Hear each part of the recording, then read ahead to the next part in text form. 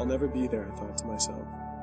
Like a toy soldier looking up at the high shelf, I stood small and eager, unaware of the fast approaching ceiling cluttered with Pyrex beakers and confusing butterfly feelings. Both labeled chemistry, and both felt as though they wouldn't occur in a century, but already both happened.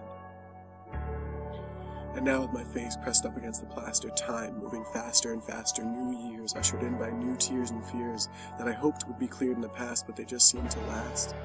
And I guess that's because the solutions don't come along with the conclusions of imaginary barriers, that is, a one digit increase in age or the turning of a calendar page. Neither have to exist, but to deny either is to resist something that will persist. So we keep time in logs and use dates as knives to separate the fog into easy to handle chunks.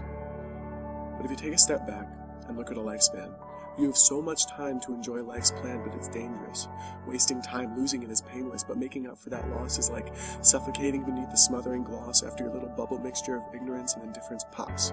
Because at one point, the substance of life ran thin, and you, the criminal and victim suffering within, hits the dirt hard and looks back into a forest of blurry photographs of the past. Edges singed because you flew by too fast.